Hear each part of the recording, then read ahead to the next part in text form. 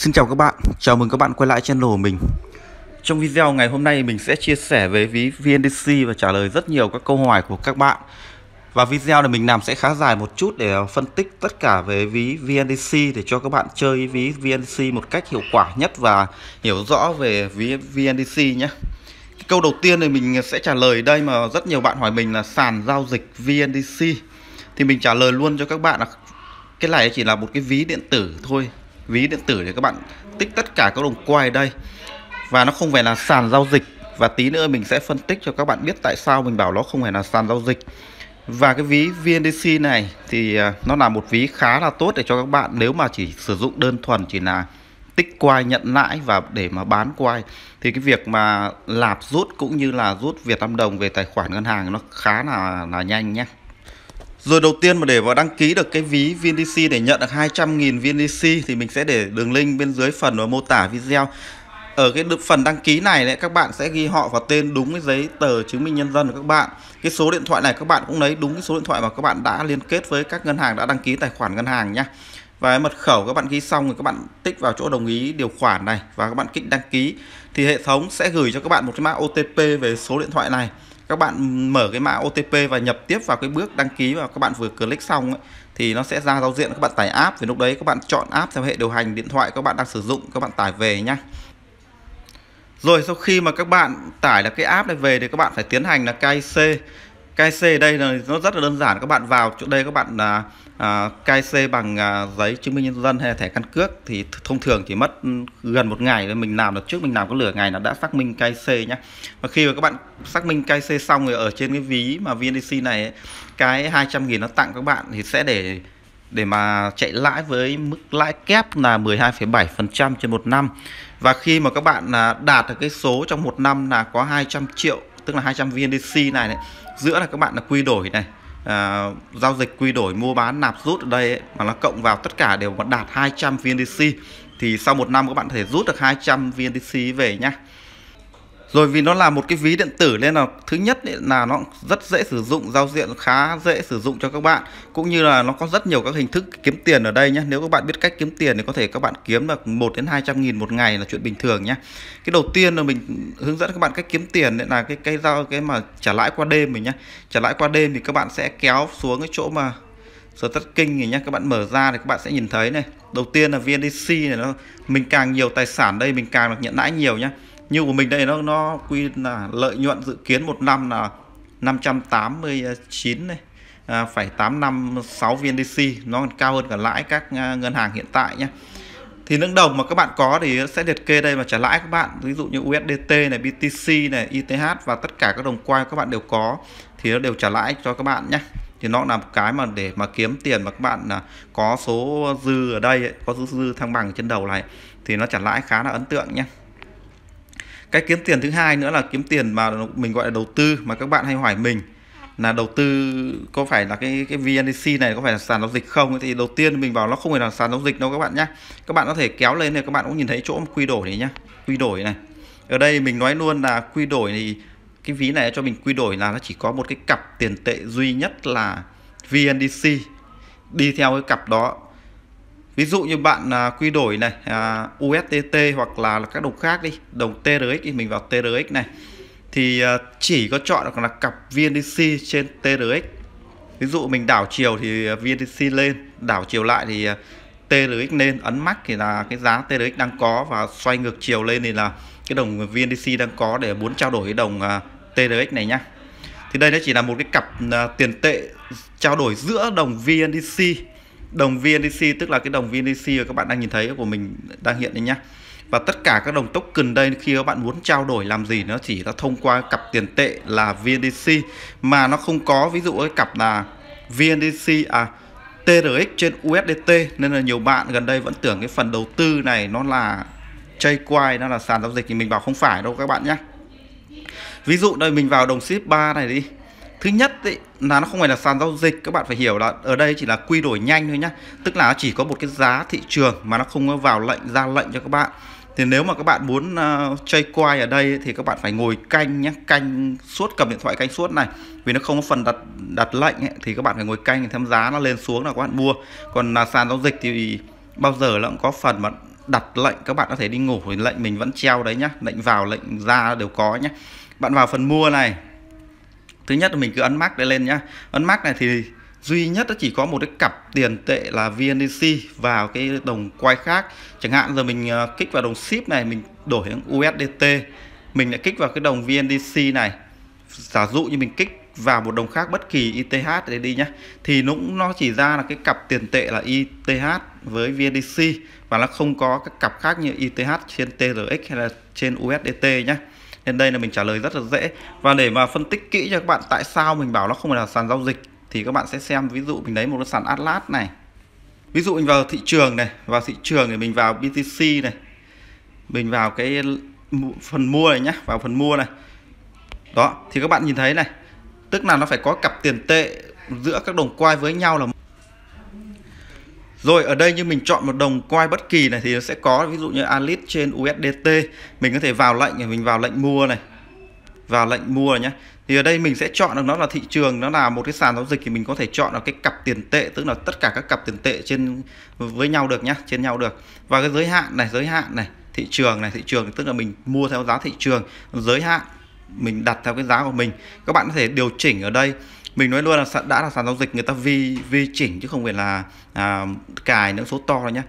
nhiều lúc còn phải vi chỉnh cả cái số bé bé bé tí nước này. Các bạn biết không? Nếu mà đối với cái tài sản mình mua chỉ có vài trăm USDT thôi thì nó không thành vấn đề.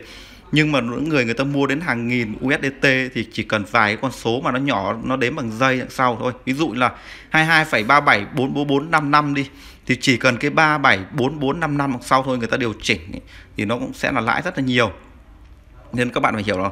ở một cái sàn giao dịch người ta điều chỉnh được cái giá giới hạn này người ta điều chỉnh từng tí một nhé ví dụ như đầu đầu 22 đầu vẫn là đầu ba, từ con bài người ta hạ xuống chỉ cần mỗi con một tí thôi là khi mà người ta khớp lệnh người ta mua được. Và khi người ta bán ấy, thì người ta cũng lãi khá là nhiều từ những con số mà vi chỉnh đằng sau rồi nhá. Ở cái sàn giao dịch thì các bạn phải hiểu là nó sẽ là mình đặt được cái lệnh mua này và đặt được lệnh bán, mình không phải cầm điện thoại, mình ngồi mình cứ canh giá lên, mình mua à giá lên mình bán, giá số mình mua nhá. Mà mình hoàn toàn mình đặt lệnh, mình ngủ này, lệnh mình tự động nó nó khớp là nó bán cho mình hoặc nó khớp là nó mua cho mình nhá. Rồi câu trả lời nữa là các bạn hỏi mình tại sao em mua VNDC qua đối tác kinh doanh mà hai ngày rồi em chuyển tiền, người ta không chuyển VNDC cho em? Thì ở đây mình nói luôn là nếu các bạn uh, mua VNDC ấy, thì ở đây nó là một cái sàn của Việt Nam thì các bạn chỉ mua trong cái giờ hành chính thôi nhé hết cái giờ hành chính có thể người ta không làm việc nữa người ta đi ngủ rồi. Mà các bạn mua vào những giờ người ta đã đi ngủ rồi thì đợi hôm sau người ta xử lý thì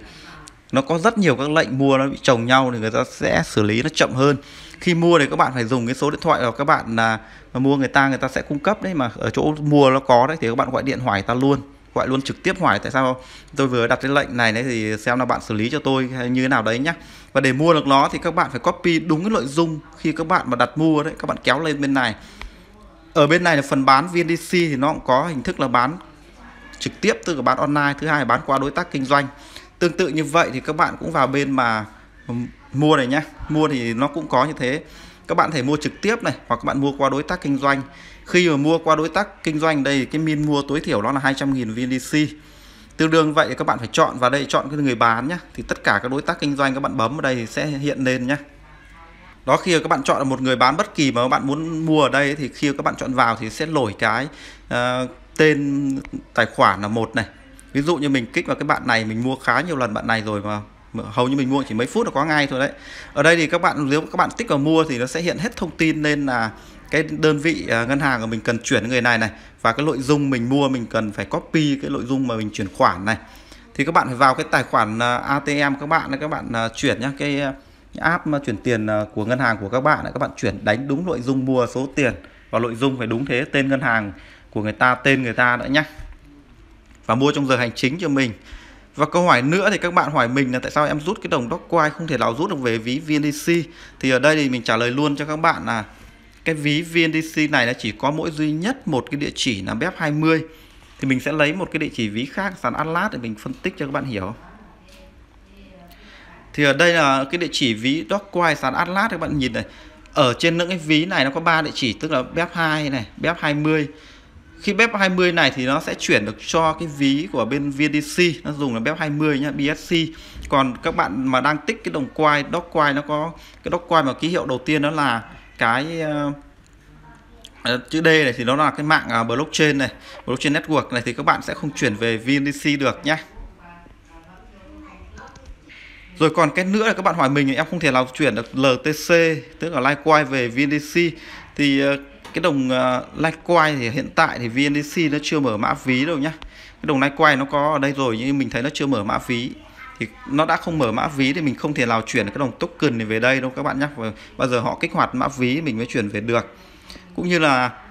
nếu các bạn nó có tài sản thì tự động nó auto hết những cái đồng token các bạn sẽ nổi đến đây. Nó quy theo từ là nhiều xuống thấp dần thấp dần. Và nếu bạn nào muốn bật những đồng token mà nó khi mình chưa tài không có tài sản nhé mà các bạn muốn bật nó thì các bạn sẽ vào bên quản lý này. Và quản lý này các bạn sẽ tìm. Ở đây các bạn sẽ tìm những đồng uh, mà các bạn muốn bật này các bạn thể bật đây hoặc là các bạn gõ chữ luôn đây thanh tìm kiếm này để các bạn bật hoặc các bạn tắt bớt đi cho nó đỡ dối màn hình cũng được nhá. Bạn có thể tìm ở đây và các bạn bật màu xanh lên này thì nó sẽ là bật này. Còn bạn tắt đi thì sẽ là tắt đi nhé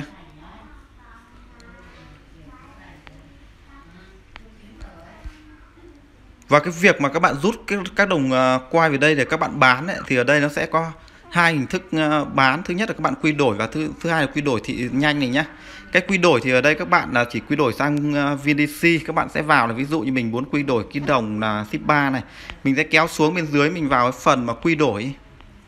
Như lúc đầu mình nói rồi và quy đổi này. Thì các bạn ở đây, các bạn cũng sẽ chọn cặp, nó chỉ duy nhất là u, cái đồng ship 3 trên cái VNDC các bạn sẽ kích là đảo ngược chiều này ấn vào mắc này tức là bán mắc cái đồng có bao nhiêu đồng ship 3 bạn bán thì bạn quy được bao nhiêu VNDC đấy là một phần quy đổi còn cái nữa là các bạn cũng vào cái phần mà đầu tư họ mới update này thì nó đây nó là một cái quy đổi nhanh thôi quy đổi theo cái giá thị trường thôi. Thì các bạn có thể vào cái phần này nhé ví dụ mình vào đây mình uh, quy đổi này mình kích là mình đảo ngược này. Ship lên mình ấn mắc này nhá. Ấn mắc này thì uh, khi mình kích vào quy đổi nó có mấy giây nhá các bạn nhìn cái dây này, nếu hết cái dây này thì nó sẽ làm mới lại cái giá thị trường một lần. Mà các bạn chưa quy đổi kịp thì các bạn không quy đổi được. Ví dụ bây giờ mình làm mới này, làm mới, đó, mình kích vào quy đổi cái thì nó sẽ ừ, quy đổi như này. Mình có quy đổi không này? Các bạn có đồng ý không? Mình kích đây là hủy bỏ nhé thì nó chỉ có cái phần mà quy đổi nhanh chứ không phải là các bạn cài lệnh để các bạn tự bán được nhé và cái việc mà các bạn lạp uh, ờ, quay về đây hay là rút quay đi thì các bạn quan trọng nhất là phải sử dụng đúng mã ví của nó nhé. Chẳng hạn như cái đồng USDT này các bạn mà lạp về đây các bạn nhìn nó có rất nhiều các địa chỉ ví như ERC20 BEP20 TRC20 thì các bạn nạp ở đâu về đâu thì các bạn phải copy đúng cái mã ví của nó nhé. Ví dụ cái ví mà các bạn đang sử dụng nó chỉ có địa chỉ là TRC20 thì ờ, các bạn muốn nạp về cái sàn VNDC này thì các bạn cũng phải copy đúng cái TRC20 này nhé hoặc là BEP20 ở cái ví các bạn đang dùng thì các bạn cũng phải copy đúng cái địa chỉ ví của VNDC là BEP20 tương tự như vậy. RC20 mà cái ví các bạn muốn chuyển về đây thì cái ví VNDC các bạn cũng phải copy đúng cái mã ví là RC20 ngoài cái việc là các bạn copy sai là các bạn mất tiền, nó không về ở đây đâu nhá còn cái nữa là cái cái uh, ví VDC này nó cũng liên kết với một cái sàn giao dịch Việt Nam nó là sàn Atlas này. Thì ở đây mình có thể thông qua cái VNDC thì mình có thể là rút cái đồng quay từ cái sàn Atlas về đây được hoặc là nạp cái đồng VNDC từ ở cái ví VNDC lên cái sàn Atlas được. Ví dụ mình kích bên này bên nạp bên này là bên rút. Bên rút này thì mình sẽ rút tài sản ở trên cái sàn Atlas này về VNDC còn bên nạp này thì mình có thể là nạp tài sản từ cái VNDC lên sàn Atlas. Chẳng hạn là mình đang nạp ví dụ mình để đây là 200 VNDC này. Đó. Khi mình kích đây mình nạp ấy, thì lập tức là cái nó chuyển cái VNDC của mình sang cái sàn Atlas này. Và để các bạn mà rút được cái VNDC các bạn đang có về cái tài khoản ngân hàng của các bạn thì các bạn chỉ việc vào chỗ mua bán này thôi nhé mua bán thì tự động nó đưa về cái tài khoản ngân hàng mình. Ví dụ mình vào đây là mình bán VNDC thì mình chọn cái hình thức là bán qua đối tác kinh doanh chẳng hạn, thì mình kích đây là mắc này. Và ở đây nó có cái phương thức thanh toán như mình đang để là ngân hàng mình đấy nhá. Thì các bạn phải vào đây để cài ngân hàng nhé cài đặt ngân hàng nhé các bạn mà chưa có ngân hàng thì các bạn không thể rút tiền về mà các bạn bắt buộc phải vào cái phần cài đặt cài đặt trên đầu này. Các bạn phải vào chỗ cài đặt ngân hàng này thì các bạn mới rút cái đồng vdc về ngân hàng của các bạn được nhé đó thì các bạn chỉ việc là chọn là bán bán và các bạn bán số lượng ví dụ ấn mắc này các bạn có phương thức thanh toán là ngân hàng các bạn kích đây bán thì ngay lập tức một lúc sau thì cái đồng tiền này sẽ về cái tài khoản ngân hàng các bạn. Và cái ví VNDC này ấy, để cái hình thức kiếm tiền nó này có nó có mấy hình thức kiếm tiền nếu các bạn muốn biết cách thì cũng có thể kiếm từ 100 đến 200 nghìn mỗi ngày. Cái hình thức đầu tiên là hình thức mà trả lãi qua đêm thì nó cũng khá là hay là một này. Và cái hình thức nữa là hình thức các bạn có thể là uh, giao dịch bằng các đồng quay đây nhá. Giao dịch giữa các đồng quay để mà ăn cái số tỷ lệ giá lên xuống nhá. Và cái nữa thì các bạn có thể là mời bạn bè nó không được bao nhiêu nhưng nó vẫn là một cái hình thức kiếm tiền của VNDC nhá. Mặc dù nó không được mấy đâu nhưng nó vẫn là hình thức các bạn vào ba cái chấm này các bạn sẽ vào phần giới thiệu này các bạn sẽ copy cái đường link giới thiệu hoặc là cái mã bên dưới, có thể copy đường link này. Các bạn mang mời bạn bè nhé thì mỗi một người bạn bè mà tham gia đăng ký thành công, khi họ kyc thành công thì các bạn sẽ được tối thiểu là 3 35.000 VNDC nhé tương đương với 35.000 Việt Nam đồng nhé và cái hình thức kiếm tiền đây nữa là kiếm khá là nhiều, đó là cái đối tác này. Thì các bạn muốn trở thành đối tác kinh doanh thì các bạn phải có cái tài sản là 10 triệu trong cái ví VNDC của các bạn. Cũng như là các bạn phải mua sở hữu cái cổ phần cái ờ, đồng ờ, VIDB này nhé thì các bạn phải đăng ký trở thành đối tác kinh doanh được nhé ở đây các bạn uh, trở thành đối tác kinh doanh các bạn được hưởng rất nhiều các chính sách hoa hồng từ chương trình nhé rồi vào video mình phân tích về ví VNDC cũng khá là chi tiết cho các bạn. Hy vọng là các bạn xem hết video và các bạn hiểu được. Và các bạn thấy video hữu ích thì đăng ký kênh để ủng hộ mình cũng như là cập nhật các video mới nhất của mình. Còn video này mình sẽ kết thúc ở đây. Xin cảm ơn.